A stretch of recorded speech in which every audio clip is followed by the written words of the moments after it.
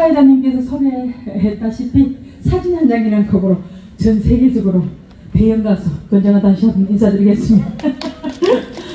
제가 얼굴이 커서 대형 가수입니다. 얼굴이 크나요? 얼굴이 좀 크긴 크다. 고맙습니다. 네, 끝까지 함께 해주시고요. 지금은 신나는 노래를 제가 선곡을 했습니다. 소풍 한번 떠나보겠습니다. 선생님, 박수와 함께 음악이 가도록 하겠습니다. 박수!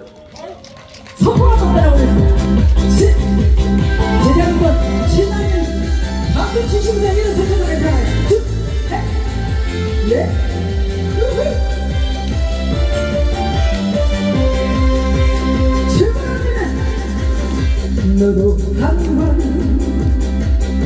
나도 한 번, 누구나 하고 났던 인생. 좋다. 바람 같은 시간을 이야 멈추지 않는 세월.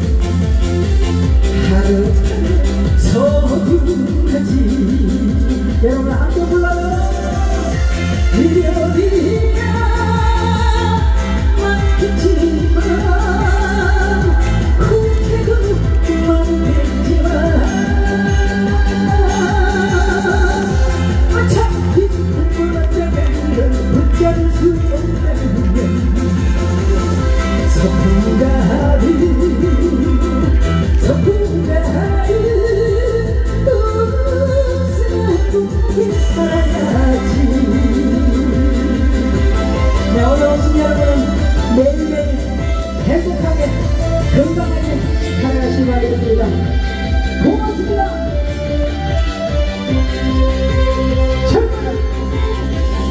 여러분도 한번